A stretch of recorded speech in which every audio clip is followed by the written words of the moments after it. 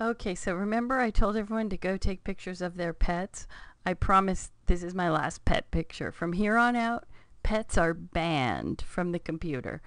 But uh, I had to include my little kitten here. Her name is Scoop. I think of her as a scoop of ice cream and not a scooping anything else, hopefully. Um, but so let's say I had this picture and I decided to be really obnoxious and send everybody a picture of my kitten. Everybody on my mailing list.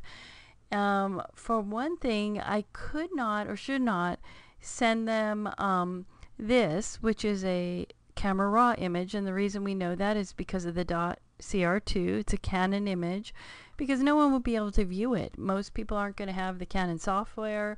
They're not going to be using Photoshop. So all my relatives might be able to view something like a JPEG, which is covered in um, one of the next videos. And so I need to convert this to a file format that is more universal, like JPEG.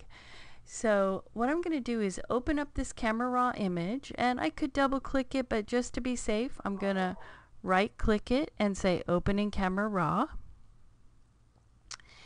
And so here's our familiar camera raw palette.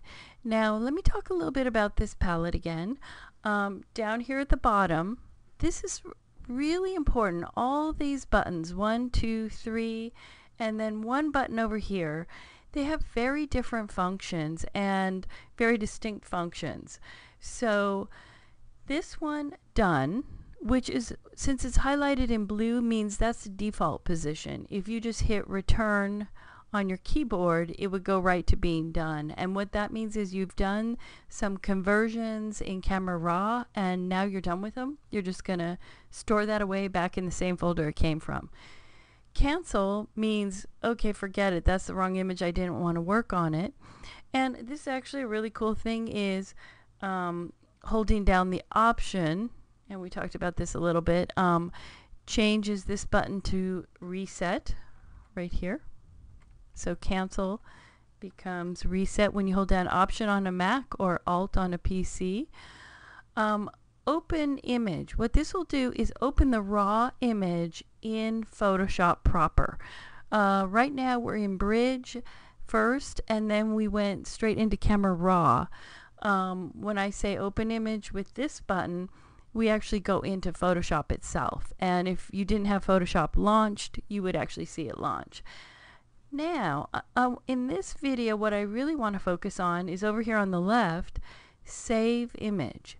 And when we go to print, um, all your prints need to be converted to TIFFs. That's T-I-F-F, which is a file format that is a lossless file format. What that means is it is a file format that can be viewed in um, in different programs, including Photoshop, but it does not use any compression whatsoever. And that's why that term lossless, there's no loss. And in fact, it can support layers in Photoshop. So it's a really good file format on a par with the Photoshop file format, which is called .psd. All of those opposed to this Camera Raw file format, which is .cr2, or if you had a Nikon, it would be .nef.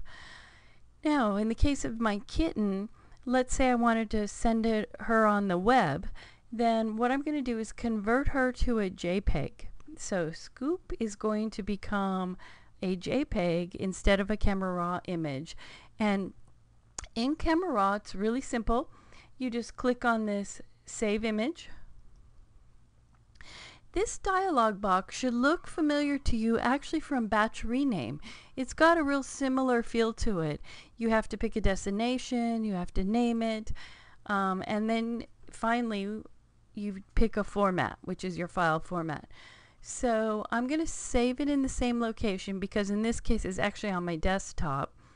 Um, and I'm going to just leave it as document name. So I'm not going to add anything in terms of naming. In fact, I try to avoid that completely um, because I've already done a batch rename. So this isn't a very good place to rename.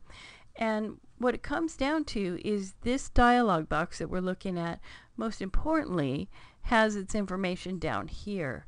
Um, now I want to show you the difference. Um, I've got this set on JPEG, and these are just pull-down menus. So when you click on them, you get a bunch of choices. And in this one, it says file extension dot JPEG. And in this one down here, it says format JPEG. And when I click on it, I get other format. I could have digital negative, which is actually an alternative to Camera Raw. It's not quite the most popular one yet. And I say yet because at some point that might become an important file format in the future. JPEG, which is great for the web, compresses your image, and I have a whole video about that a day or so from now. And TIFF is what we're going to convert our images to every time we go to print in the classroom. And Photoshop is just straight out um, native to the Photoshop program. So I'm going to pick JPEG because I'm going to the web. So I want compression. Um, I want a lossy compression where I'm going to lose some information for the sake of compressing my image. And I'm going to choose a quality, maybe that's medium here, because I want to send it on the web. And then, and so, oh, you know what? So by the way, what my point here is that the file extension, if you just change that, so let's say I just say TIFF right now, then I am very cautious of that because I don't want to just change the file extension. If I go to the file format, because file extension is just naming your image, if I go to file format and just go directly to JPEG, you'll notice it up here in the top, the file extension changes right along with it. So I don't change the extension, I go straight to format. And then I'm going to hit save. And I'm done with the raw image so I'm going to just say done. And you'll notice down here at the bottom of my um, bridge palette I've got my and this is on the desktop I've got my raw image which can never be changed. Remember it's a read-only image so it'll always stay as camera raw. And now I have my JPEG right alongside it so that's it for file conversion and in the next video we'll talk about sizing that image because it's still too big to send on the internet.